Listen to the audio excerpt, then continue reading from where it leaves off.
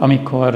jönnek hozzánk a gyermekek, akkor általában mi szoktunk magunkról küldeni bemutatkozó anyagokat. Például a kollégák fölvették azt, hogy végig jönnek az intézményen a bejárattól, megmutathatja a szülő a gyermeknek, hogyha a gyermek nehezebben fogadja el az idegen környezetet, nehezebben tud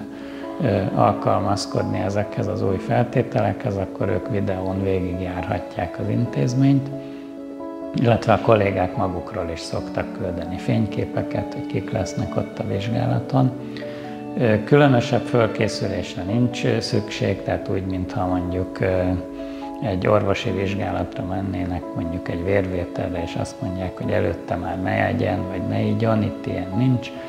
Itt igazából a gyereket mi olyannak szeretnénk látni, amilyen, tehát semmi extra elvárásunk nincs, hiszen nekünk az adja a legtöbb információt, hogyha látjuk az ő reakcióit, például a mi intézményünkbe való belépéskor, látjuk azt, hogy hogy fogadja el a társait, akikkel először találkozik, hogyan viszonyul a vizsgáló személyhez,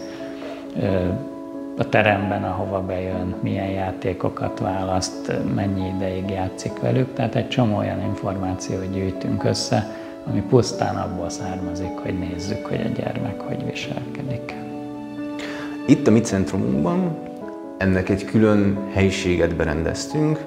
aminél azok a szempontok voltak fontosak, hogy egy viszonylag letisztult és ingerszegény helyiség legyen, azért, hogy csak ezzel kelljen foglalkozni, és nem más ingerekről elterelni esetleg a gyermeket. Általában 30 45 perc alatt felvehető egy-egy ilyen modul, attól is függ, hogy mennyire tud föloldódni a gyermek, vagy a fiatal felnőtt, vagy a kiskamasz az adott helyzetben. A vizsgáló bemutatkozik, két személy van ott még a gyermeken kívül. Ha a szülőtől nem tud leválni a gyerkőc, vagy biztonságérzetét ez elősegíti, akkor a szülőt is beszoktuk vonni a vizsgálati helyzetbe. Van egy személy, aki a tevékenységeket végzi, és van egy személy, aki a különböző tesztlapokon, a különböző tevékenységek kapcsán jegyzeteket készít. Erre azért van nagyon szükség, mert a megfigyeléses rész az gyakorlatilag az alapját adja annak, hogy miként értékeljük ki az adott vizsgálatnak az eredményét. És hogy elhelyezzük ezt az egész diagnosztikus munkában, az adósz egy nagyon-nagyon fontos és erős lába annak, hogy a diagnózis megszülessen, vagy megerősítsük, vagy kizárjuk az autizmusban való érintettséget, de nem egyedül ezt használjuk, hanem különböző vizsgálatok vannak, az anamnézist figyeljük, a gyerkőcöknek a társas helyzetben való működését, vagy a kortársakkal mit tudnak kezdeni. Ennek ellenére ez egy elég fontos vizsgálat, azt szoktuk tapasztalni, hogy vannak gyermekek, akik nagyon szépen veszik, és nagyon könnyen túl vannak rajta, más gyerekeknél viszont ez egy picit fárasztóbb vizsgálat is, tehát ezt úgy szoktuk elhelyezni a vizsgálati folyamatunkban, hogy az első nap után, után láttuk, hogy mennyire terhelhető a gyermek, mennyit bír, kitaláljuk, hogy akkor a következő nap, vagy mondjuk az utolsó napra hagyjuk ezt a vizsgálatot. És ugye bemegy a vizsgálóval a gyerkőc a helyzetbe, ott van még a megfigyelő, megcsinálják a tevékenységeket, utána, amint ez megvan, a gyermek megy tovább egy vizsgálatra, a két vizsgálatot végző személy pedig kódolásba kezd, és ez a kódolás egy pontszámot ad, amiből, mivel ez egy standardizált eszköz, már eléggé jól lehet arra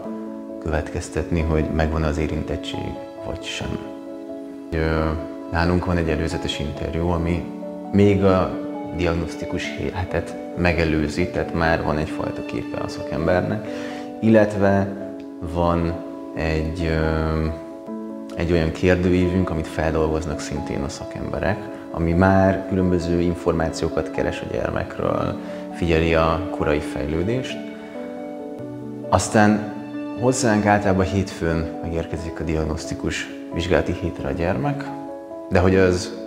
szerdáig, csütörtökig vagy péntekig tart, ezt nehéz prediktálni, sok esetben azért, mert mondjuk a hét folyamán a tapasztalataink mentén fölmerül még olyan gyanú, vagy valami olyan kételj, ami miatt újra megnézzünk bizonyos dolgokat a gyerkőcökkel, vagy például nehezen bevonható. Ezért inkább szoktatjuk még egy picit a helyzethez, és akkor időben eltolva vizsgáljuk meg. Ennél a helyzetnél például, ami maga az adott vizsgálat, nyilván a diagnosztáink kiváló szakemberek, és nagyon könnyen magukra hangolják a srácokat, és a bevonhatósággal nem szokott általában probléma lenni, de ettől függetlenül ez egy olyan helyzet a gyerekeknek, ami azért nehéz. Tehát, hogy érdemes tudatosítani, hogy hiába rengeteget játszunk velük, azért nekik ez meló, mert a viselkedésüket valamennyire szabályozniuk kell, bele kell helyezkedni a helyzetbe, el kell viselni a nénit, bácsit, aki oda jön hozzám, megpróbál velem játszani.